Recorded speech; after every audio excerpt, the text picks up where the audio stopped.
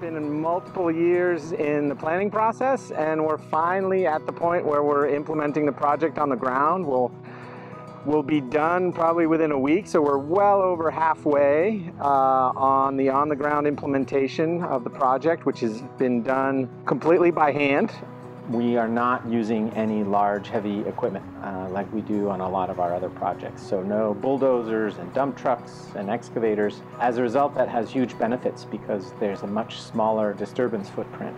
We have worked to try to implement and design projects um, which we call low-tech process-based restoration.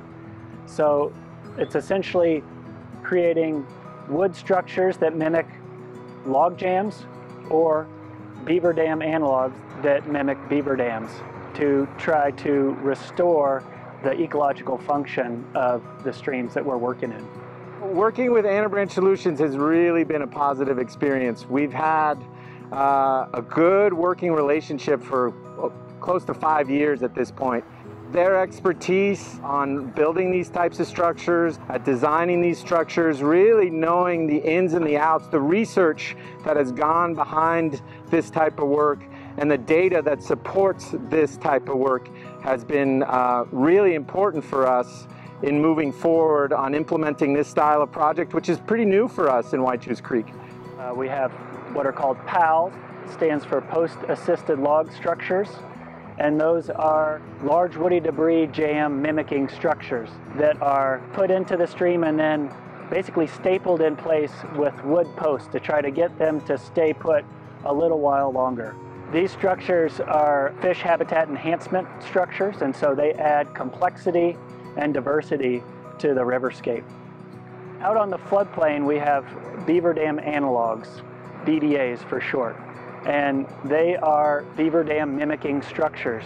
The intent of those is to impound water and spread it out when it is available on the floodplain to uh, increase that residency time of water, to let it have longer term effect instead of just flowing right off the floodplain and back into the channel and out. Really exciting to see how much work these crews have been able to do in a really condensed amount of time this summer. We've completed all of the projected PALs and structures that were part of our goal for July. And I can't emphasize how proud I am. We've installed a lot of our bank attached PALs and come back the next day and seen gravel bars developing already. So it's a fast changing and quickly evolving stream that we're really, really grateful to have the opportunity to work in. It's quite fascinating to see how quickly the river is adapting. Getting to have a daily view of the creek was already a privilege that I loved. And now with these changes, I think that it's only going to get better. This project's really interesting. It's uh, the Willow Springs Preserve. It's owned by the Deschutes Land Trust. And um, Right off the bat, the Land Trust does an amazing job in outreach in working with all their neighbors on all their projects. And so it's just really important for the community as a whole, whether it's at the local school level, uh, whether it's at the city level, whether it's at the local homeowners associations in the vicinity to be aware of the work because we really see these projects as, as benefiting all of us. There have been communications through newsletters and also through the county permitting process as adjacent landowners that notified us that this was all going to happen. But they've been very open to questions directly about what the plan was and how it's going to impact us. And this has led to conversations with the Upper Deschutes Watershed Council staff and the ability to view the plans for the project and the expected outcomes, and ultimately gave me the opportunity to go down and tour with staff members. Can't tell you how appreciative I am and, and how in well informed I feel now.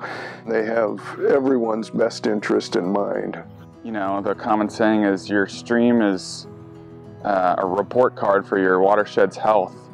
And so every piece of land is part of that if you're in the Whychus drainage.